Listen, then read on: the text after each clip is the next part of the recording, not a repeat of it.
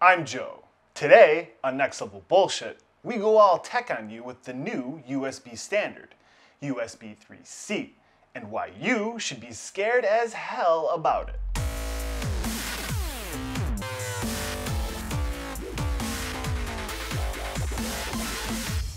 Apple released their new 12-inch Retina MacBook last week that's slimmer and lighter than any model. You remember we talked about Apple a few episodes back. You see, Apple has become the Kim Kardashian of the tech world. If there isn't some agonizingly pointless news, especially gratuitous pictures, about you today, then something is wrong. So now they're shaking things up again because you need all new connectors for your shit, just like they did with the iPhone 5. The new MacBook's claim to fame is the new 3.1 USB standard Type-C port, which is a multi-use USB port. It recharges batteries, connects to monitors, and delivers data faster than USB 2.0. Even better, the plug is reversible, so you'll never insert a USB cable upside down ever again. That's pretty cool, because everyone knows sometimes it takes three tries to get the USB connector in but they only stuck one fucking port on the whole computer. If you want more, you have to purchase an $80 dongle. Dude, that's some next level bullshit right there. $80 for a fucking dongle? For the price of the uh, for the price of the dongle, you can get a Moto G phone at Verizon. But that's not the bullshit we're here to discuss today. We're here to look at USB security. USB-C is faster and capable of much more, but it doesn't appear to be any more secure. Karsten Nohl and Jacob Lell showed the world last year that USB devices can be compromised in a very serious way. You see, the USB controller in everything has a bit of code called firmware. It's a lot like an Ultra Mini operating system sitting on a small chip in USB devices. The firmware can be easily altered to become malicious due to limited protections against being overwritten. Once reprogrammed, devices can emulate a keyboard and issue commands on behalf of the logged in user. For example, to fuck with files or install malware that can infect the controller chips of other USB devices connected to the computer. It can also spoof a network card and change your computer's DNS settings to redirect traffic to nasty sites with more malware. When it detects the computer is starting up, it can load a small virus, which infects the computer's operating system prior to starting up. The host computer has no choice but to run the firmware, and once infected, it's almost impossible to clean. Simply reinstalling the operating system, the standard response to otherwise eradicable malware, does not address bad USB infections at their root.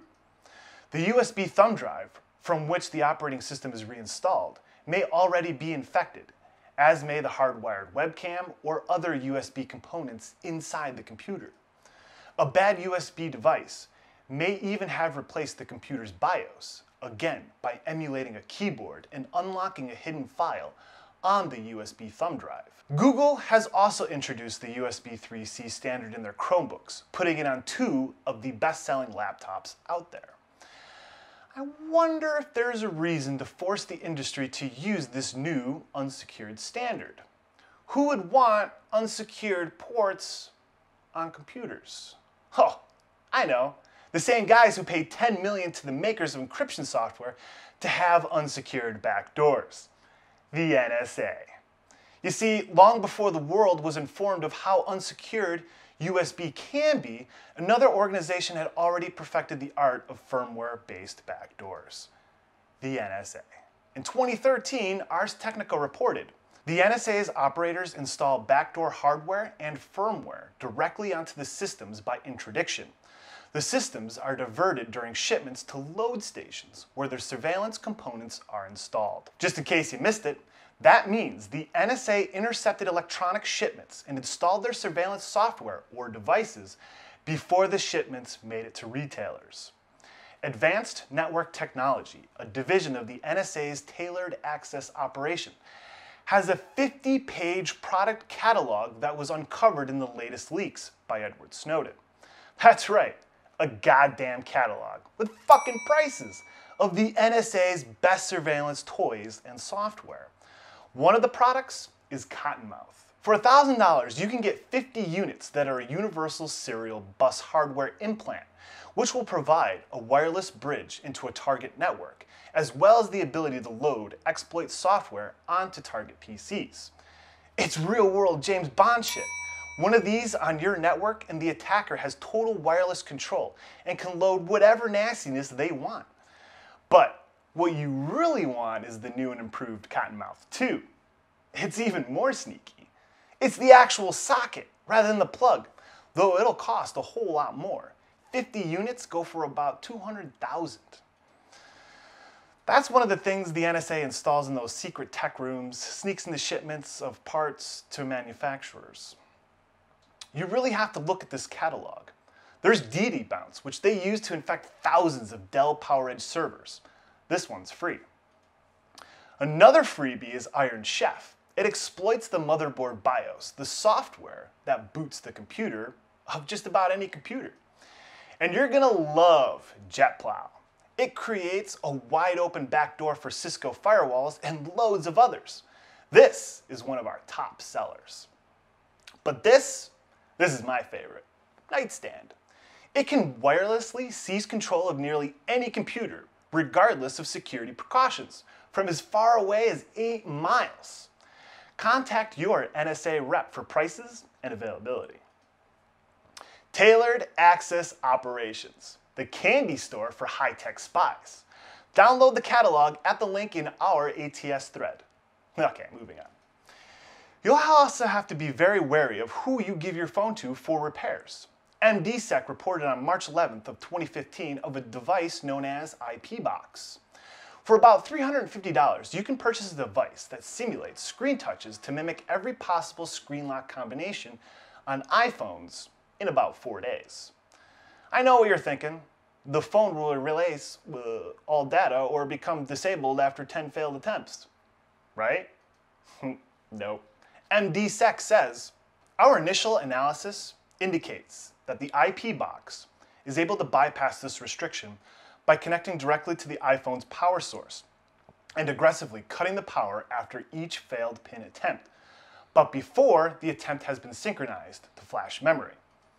As such, each pin entry takes approximately 40 seconds, meaning that it will take up to 111 hours to brute force a four-digit pin. Even though USB 3.1 Type-C is new and great, promising more versatility and convenience than ever before, the firmware is still unprotected and unsecured. It's a recipe for disaster. A disaster we think is no accident. Two solutions have been proposed to increase security of the firmware. Make the firmware only upgradable or changeable if the update has a vendor certificate, meaning that only the vendor can supply the update. Add a button to all USB devices that have to be engaged in order for an update to be processed on the unit. Of course, the exploit for these two safety features will soon be available in your next tailored access operations catalog. Make sure you're on the mailing list. You don't want to miss out. Now that bad USB is out in the wild, we have to be way more careful on how we handle USB devices. Malware detectors cannot detect firmware viruses, so you have to use your best judgment going forward. Now tell us what you think about this bullshit. Is it epic? Is it next level? Or are we just fucked in the head? Use the comments and let us know. And there it is, episode 42. I want to thank everybody out there for continuing to be awesome. Our last episode on the Republican senator's letter to the Iranians got the interwebs streaming. Frank Giantonio jumped in again and said, Well done, and a breath of fresh air as always. I can't wait to see how many knuckleheads call you a liberal so and so for daring to wax positives about Obama. Not sure if I was positive about Obama, just not negative, but you fucking nailed it, Frank. Scram F. Jenkins had some fun with the NLBS acronym New Liberal Ballsucker.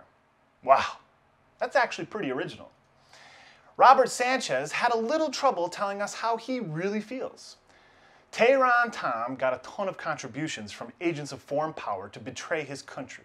He and the rest of the TeePublican treason team all took Israel's side against America's. But Tehran Tom, the traitor Todd, got paid nearly a million dollars to do so.